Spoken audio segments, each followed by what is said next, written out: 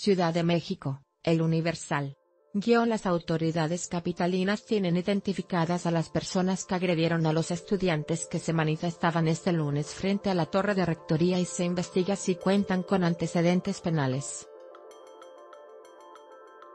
El jefe de gobierno, José Ramón Amieva, informó que a la par, fue reforzada la seguridad en los alrededores de todos los planteles de la UNAM,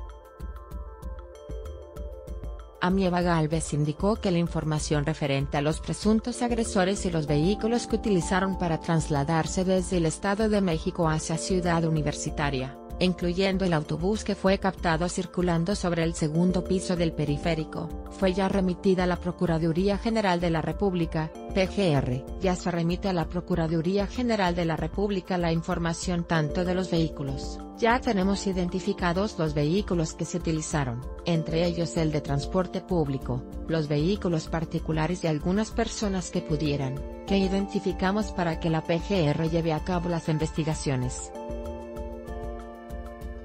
También estamos verificando si alguna de las personas que participaron, tienen pendiente algún mandamiento judicial, alguna aprehensión, vamos a estar pendientes, dijo.